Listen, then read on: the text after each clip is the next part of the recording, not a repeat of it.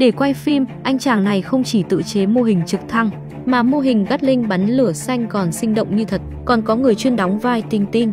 Để quay phim hành động, họ dạy võ công cho đám trẻ. Vì máy tính không đủ bộ nhớ, nếu muốn làm bộ phim tiếp theo thì cần xóa tác phẩm trước đó. Khi sự tích về anh ấy thu hút sự chú ý của dân mạng, mặc dù đội ngũ của anh ấy gặp khó khăn kinh tế nhưng vẫn thu hút rất nhiều dân chuyên gia gia nhập. Dù đạo cụ đơn sơ nhưng vẫn phân cho con mèo đóng vai bảo vệ. Đèn chiếu sáng sử dụng 4 cái đèn huỳnh quang tắc te. Nhân viên đạo cụ phát huy trí tuệ của mình, dùng một cái kích để làm cái giá đỡ ba chân.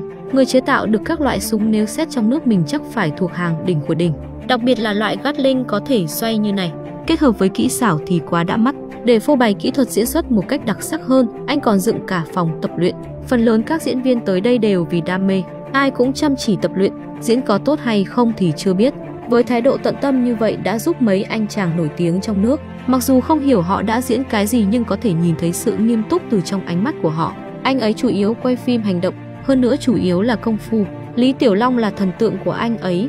Năm 2005, khi anh ấy quay bộ phim đầu tiên, ngoài chiếc máy quay cũ này thì chẳng có gì. Vợ cũ trách móc anh ấy làm cái nghề không đứng đắn này. Năm 2008, anh ấy đã thành lập một công ty điện ảnh đặt tên là Wakaliwood. Ý nghĩa của cái tên rất rõ ràng. Wakaliwood sớm muộn cũng sẽ mua lại Hollywood cho mà xem. Nhờ có kinh nghiệm 3 năm, trong năm đầu tiên công ty đã tăng gấp đôi số lượng nhân viên. Trước đây anh ấy quay một mình, giờ có vợ làm trợ lý. Vợ anh ấy học trang điểm trên mạng. Họ đã có đạo diễn và thợ trang điểm coi như đã đi được một nửa. Không ít nhân tài trên thế giới nghe danh tới đây.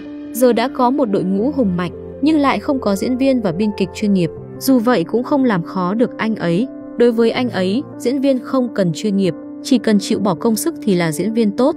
Không có biên kịch thì cũng không cần luôn.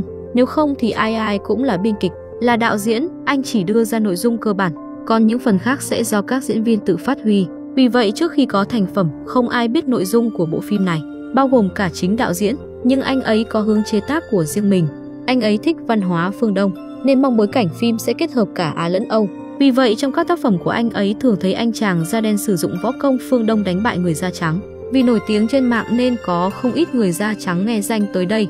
Có diễn viên quần chúng muốn đóng chính, cũng có đạo diễn người da trắng có chút danh tiếng. Cả đội ngũ cũng phát triển có trật tự. Ban đầu cảnh máu me khi đóng cảnh bắn súng được dùng máu châu thuần tự nhiên. Thứ này thuần tự nhiên nhưng lại có vi khuẩn, còn khiến một diễn viên bị nhiễm bệnh, suýt thì toang. Họ buộc phải đành dùng chút kỹ thuật, họ cho thêm một chút phụ ra, như vậy thì sẽ an toàn hơn. Để giúp các diễn viên có cảm giác thành tựu, anh ấy còn viết một cái bảng ghi tên các siêu sao lên tường. Những người từng đóng phim đều sẽ để lại tên trên đó. Sau khi quay xong thì phim cuối cùng cũng phải đổi ra tiền. Cách đổi ra tiền cũng khá đơn giản. Bọn họ cầm đĩa phim giao bán khắp chợ. Cho dù là đổi bằng tiền hay gà, họ đều không từ chối. Chính các diễn viên sẽ đi giao bán đĩa phim. Nếu xét trong đội nhóm thì họ có ưu thế cực lớn. Ở Uganda có rất nhiều dân tộc. Rất nhiều diễn viên ở các bộ lạc khác nhau đều tới đây dù không biết nói tiếng Anh. Nhưng họ có mối quan hệ trong bộ lạc. Sau khi học tiếng Anh trong tổ phim, khi về thôn sẽ trở thành một người giao bán phim xuất sắc. Thấy sự nghiệp phim của anh ấy ngày càng hoàn chỉnh hơn, vô số bình luận, bàn tán cũng đồng loạt xuất hiện. Người ngài mắng anh ấy không nên quay mấy cảnh chém giết, không có lợi cho sự trưởng thành của trẻ con, mà nên quay hiện trạng của đất nước Uganda nghèo khó, lạc hậu để có được sự xót thương và trợ giúp từ bên ngoài. Khi nhận được những lời bình luận này, anh ấy thẳng thắn đáp trả, nơi này vẫn luôn chiến loạn, đám trẻ có quyền biết được sự tàn khốc của chiến tranh, để chúng tưởng rằng đó là địa đàng mới là hại chúng. Anh ấy mong có thể xây dựng hình tượng Uganda là đất nước tích cực, lạc quan trong mắt người ngoài, chứ không phải những cảnh chiến loạn, đói khát. Giờ Uganda được nhiều người trên thế giới quyên góp ủng hộ, máy tính đã được tân tiến, hiện đại hơn, thậm chí có không ít diễn viên có thể kiếm sống từ người quay phim. Đối với sự phát triển của phim ảnh Uganda, anh ấy mong có thể có càng nhiều công ty điện ảnh được thành lập, tạo ra nhiều bộ phim đậm chất văn hóa Uganda. Kỹ xảo trong phim của anh ấy mặc dù trông có vẻ còn kém hơn hẳn mấy kiểu kỹ xảo rẻ tiền, nhưng đây đã là cực hạn mà anh ấy có thể làm được rồi. Chỉ cần có ước mơ thì không có gì phải sợ cả. Mong các bạn hãy cố gắng hết mình vì ước mơ của bản thân.